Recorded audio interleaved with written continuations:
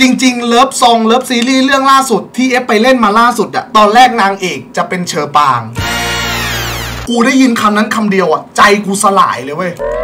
อย่าลืมกด subscribe และกดกระดิ่ง เพื่อไม่พลาดคลิปใหม่ๆ นะจ๊ะ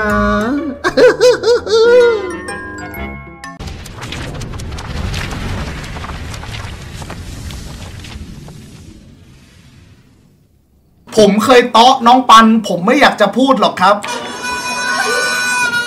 ไม่ต้องพูดดิ ใครบอกให้มึงพูดอะนั่งพิมพ์ต่อไป บางคนมาแซวเรื่องน้องปันอะไรเงี้ยผมเฉยๆเว้ยเพราะผมบอกแล้วว่าเอามีดมากรีดกลางหัวใจผมตรงเนี้ยแหกออกมาไม่ได้เป็นหัวใจผมนะ มีเชอปางกระโดดออกมาหนึ่งคนเนี่ยขีดแขนตรงเส้นเลือดตรงเนี้ยออกมาเนี่ยมีคำว่าเชอปังเชอปังเชอปังเชอปังเชอปังเชอปังเชอปัง อย่าให้กูต้องขิง มันเรียกว่าการขิงได้บอกว่า มันเรียกว่ามันเป็นสิ่งที่แบบกูเสียดายในที่สุดในชีวิตเลยก็ว่าได้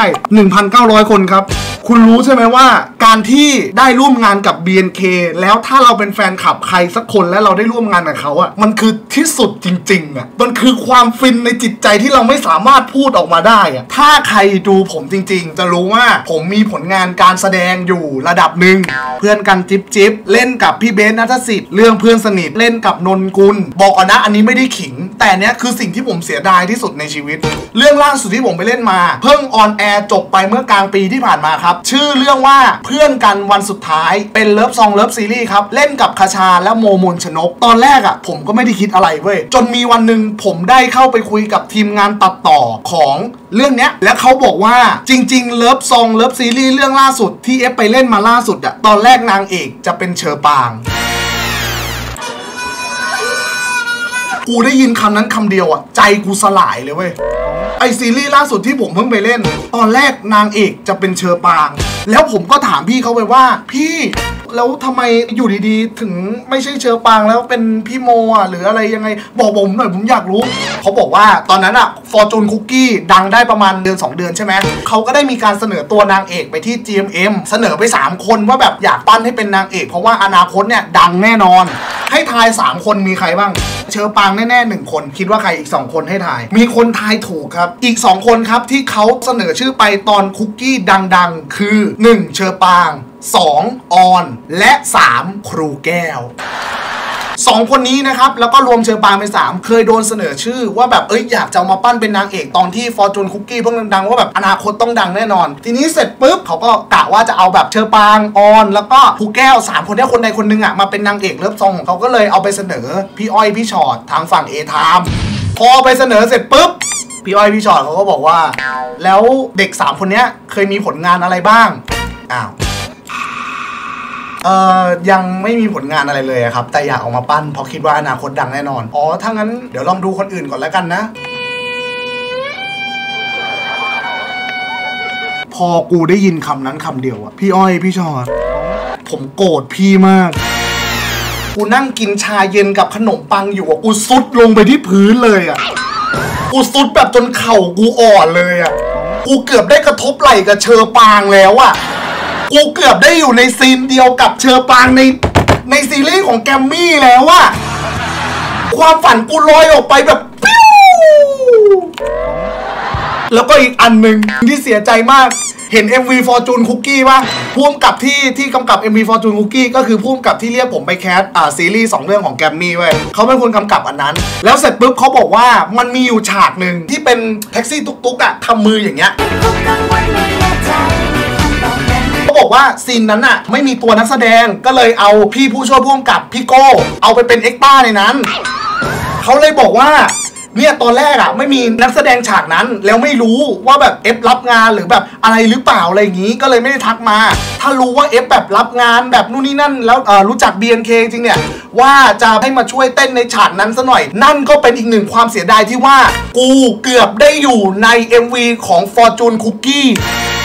ถึงแม้จะเป็นฉากเดียว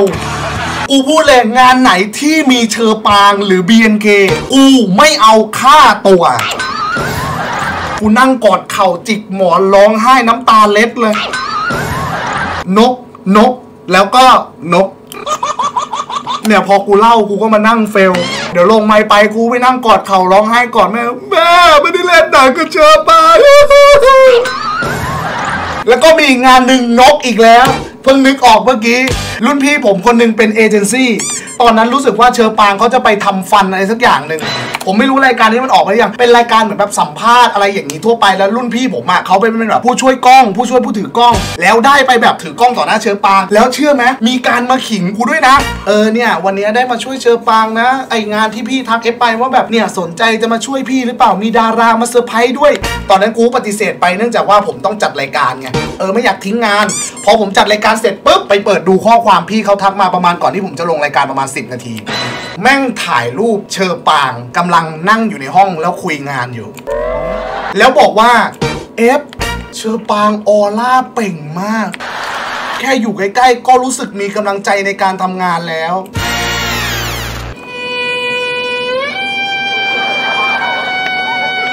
นก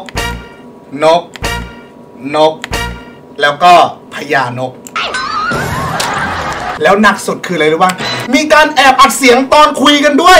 ถามเชอปางว่า รุ่นพี่ผมทับอะไรอะไรอะโอ้ยเฮียกูตกใจ อะกลับมา ถามแบบถามว่าเออเชอปางช่วงนี้ทำงานหนักไหมครับ สู้ๆนะครับแล้วเชอปางตอบมาด้วยประโยคนึง อ๋อ ก็เหนื่อยๆค่ะ ก็เออขอบคุณค่ะ แล้วกูแบบอ้า ไมวะเอฟทำไมมึงนกได้ขนาดนี้วะเซ็งอะ ยิ่งเล่ายิ่งเซ็งยิ่งเล่ายิ่งเฟลผูกคอตายทันไหมคือมึงเข้าใจใช่ปะมึงลองสมมุติว่ามึงเป็นกู ที่แบบว่ามีสิทธิ์เฉียดได้ร่วมงานกับเชอปางประมาณ 3 รอบ แต่ไปไม่ถึงอยู่ดีๆ สะดุดล้มแล้วตกเหวไปเลยอะเป็นมึงมึงรู้สึกยังไง มันเป็นดวงของกูเนาะที่กูไปปฏิเสธเขาเองว่าแบบจะไม่ไปหาเขาอะสามรอบก็นกนกนกนกปะ กูเคยเป็นคนหนึ่งนะ ที่มองว่าตอนจับมือเชอปางอะไปงานจับมืออะเชื่อมึงไปจับมือไอดอลแล้วมึงแบบมึงเอามาดมอะไอเชื่อมึงโรคจิตอะไม่ใช่อะแต่พอกูไปจับมือเชอปางรอบพิเศษ5ใบกูจับเสร็จปุ๊บคว้ากระเป๋าสวมหลังเสร็จปุ๊บสิ่งที่กูทำคือ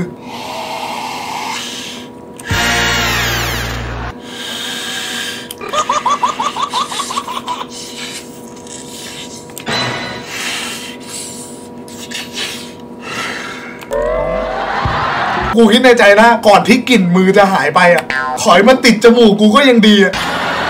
แหมสาธุอย่าให้กูเจอพวกมึงในงานจับมือ แล้วมึงจับมือใครแล้วมึงดมมือตัวเองนะคืออันนี้บอกก่อนนะ มันไม่ใช่ดมมือด้วยความเป็นโรคจิตอะมันคือมึงเข้าใจป่ะกูเสียเงินไปเกือบสองพันอะแล้วแบบพอจับมือไปอะเวลามันผ่านไปเร็วมาก ตอนจับมือกูสั่นด้วยเฮ้ยแต่ตอนนั้นดีใจจริงแล้วแบบพอเอามาดมรู้สึกว่าแบบไม่ได้โรคจิตแต่แบบโอ้ยมือเชอปางหอมจังเลย แค่เนี้ยคิดแค่นี้จริง ๆเว้ยอะไรมึงไม่ฟังกูอะ character กูกลายเป็นคนโรคจิตไปแล้วไงดมมือก็หาว่าโรคจิตเอาละกระถินมาไหมเนี่ยไอ้เหี้ยไม่เอาดราม่านะ พี่เฌอดูพี่อยู่พี่อย่ามาตอแหลกู แต่ถ้าเฌอปรางดูกูจริงนะ เฌอปรางครับ หัวใจดวงนี้ให้เฌอปรางแต่เพียงผู้เดียวครับอืมเฌอปรางมาปุ๊บกูเสียงสองเลย ดัดจริตมากพี่โทษนะกูไปฆ่าพ่อมึงมาปะเนี่ย